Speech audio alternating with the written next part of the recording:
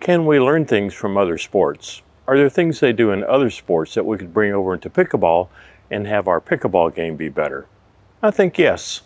As I work with students, I will reference other sports and things athletes do in those other sports that we could employ in pickleball.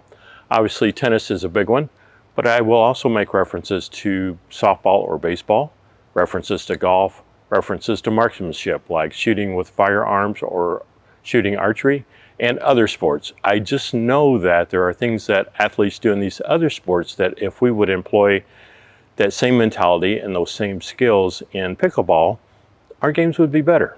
This week I ran across a video from Geno Auriemma.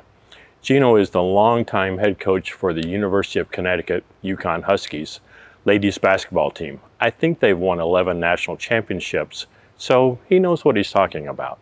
In his video, and I'll put a link to that video in the description box below, he talks about how it's hard for him to watch high school basketball players play today.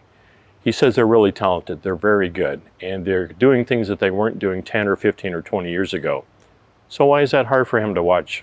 If the American kids are so good, why is it hard for Geno to watch them play?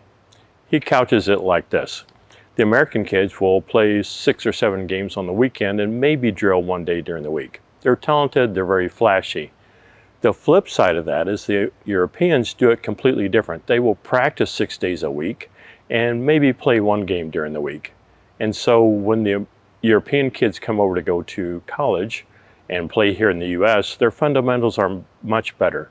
So they can dribble better, handle the ball better, pass better, shoot better. And so that's the big difference is they focus much more on the fundamentals and drilling more and playing less, where the American kids are more about, I want to go play. I really don't want to drill as much.